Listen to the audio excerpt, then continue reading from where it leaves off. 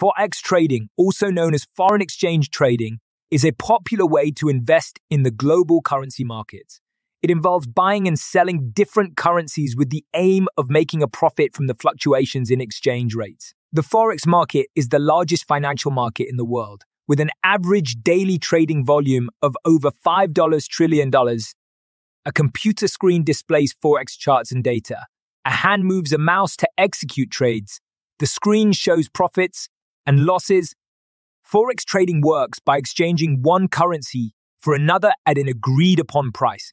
Traders can profit from the difference between the buying and selling price of a currency pair. For example, if a trader buys the US currency pair at 1.2000 and sells it at 1.2050, they would make a profit of 50 pips percentage in point. Forex traders use various strategies and tools to analyze the market and make informed trading decisions.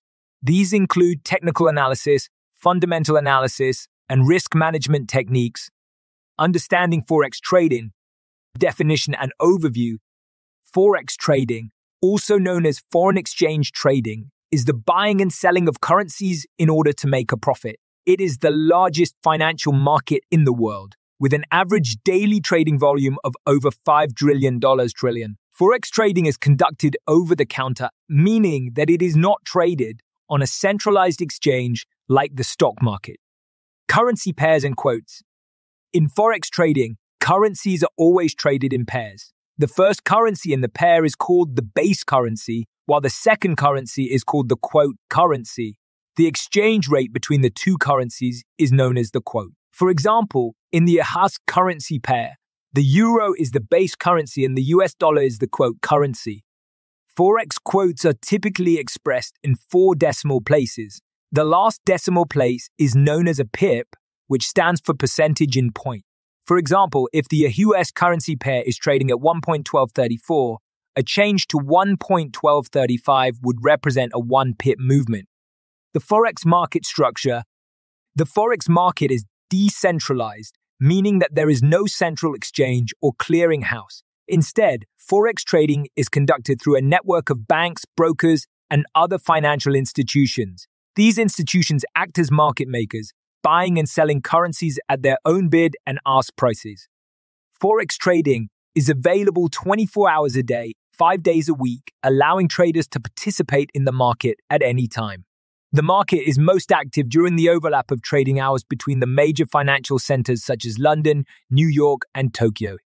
Overall, Forex trading offers a high level of liquidity, flexibility, and accessibility to traders of all levels of experience. However, it is important to understand the risks involved and to develop a solid trading strategy before entering the market. The mechanics of Forex trading, how trades are executed. Forex trading involves buying and selling currencies in pairs. When a trader buys a currency pair, they are essentially buying the base currency and selling the quote currency. When they sell a currency pair, they are selling the base currency and buying the quote currency. Trades are executed through a broker who acts as an intermediary between the trader and the market. The broker provides the trader with a trading platform, which is a software application that allows them to access the market and execute trades. Traders can open and close positions at any time during the trading day as the Forex market is open 24 hours a day, five days a week.